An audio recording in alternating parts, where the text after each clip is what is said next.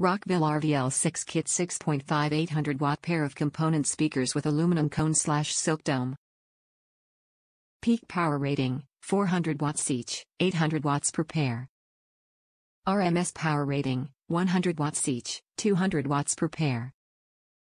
6.5 mid-bass aluminum cone drivers. 1 ferrofluid cooled silk soft dome tweeter. Rockville RVL6 kit 6.5 800 watt pair of component speakers with aluminum cones plus silk dome tweeters first. A cutting edge, spun aluminum cone is used for the 6.5 mid-range slash mid-bass driver. The aluminum cone delivers a true piston action with no flex even during high power excursions. The result is outstanding bass, mid-bass and mid-range clarity yielding ultra-low distortion.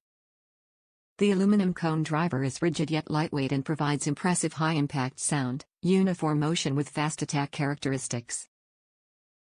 The aluminum is treated so that it's non-resonant and self-dampening with a very pure sonic signature that minimizes colorations that typical 6.5 drivers suffer from under high power.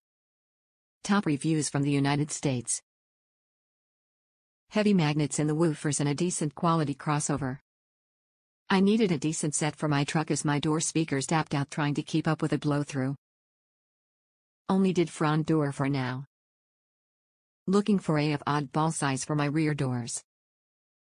I'm not gonna lie. For the price you can't beat them at all it was like night and day I installed one side. And it outdid the Alpine S I had in the front and the kicker in the rears. It's a Budget build I'm doing 410s in a blow-through fourth. Pioneer Pro Champions and it gets down and dirty I wanna keep the budget theme. So crunch amps. Tuned endoscoped, so I'm getting about 1800 RMS clean power and damn the sound good.